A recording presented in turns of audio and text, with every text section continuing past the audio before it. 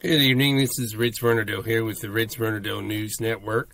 this is another nocturnal nighttime uh, update on the uh, coronavirus, and we are dealing now with uh, Monday, March the 16th. It is approximately 10:17 p.m. Central Standard Time. Um, pretty much anybody who's keeping up with it is aware of the nationwide concern, the the grip that the nation is under right now, uh, and and rightfully so. You know, when you go into many stores, certain shelves will be empty. Uh, this, of course, is happening nationwide. Schools are closed uh, in many, many, many states.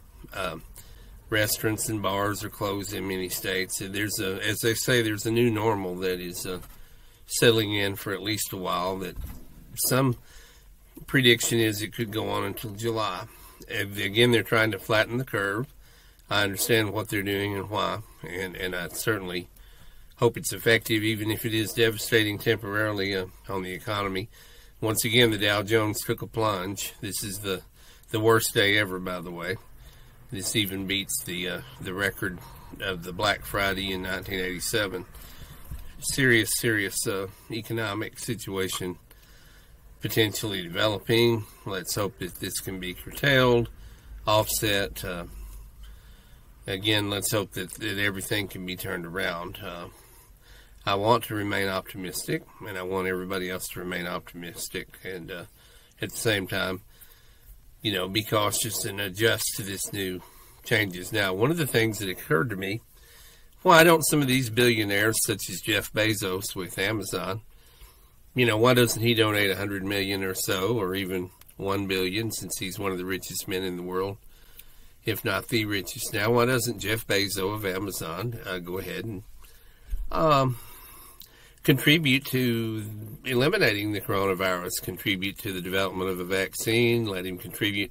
You know, let's do something besides sit up there on the Amazon pedestal and continue to go around and buy and buy and buy.